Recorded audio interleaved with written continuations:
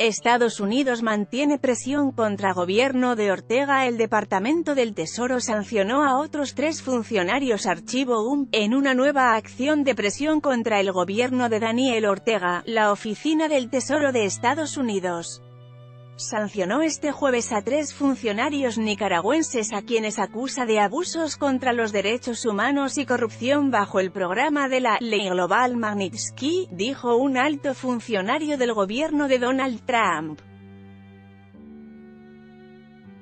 Los tres sancionados son Francisco Díaz, director de la Policía Nacional y consuegro del presidente de Nicaragua Daniel Ortega, Fidel Moreno, secretario político del gobernante Frente Sandinista de Liberación Nacional FSLN en Managua y Francisco López, tesorero del mismo partido.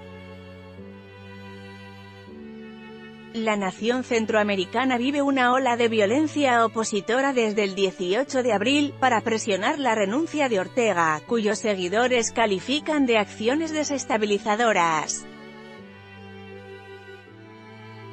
Los hechos han dejado más de 200 muertos.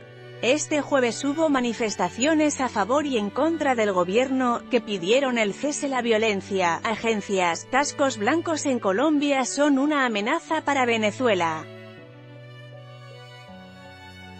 7 de julio, 2018 6 y 9 de la mañana 901 visitas presos 5 estafadores de Misión Vivienda.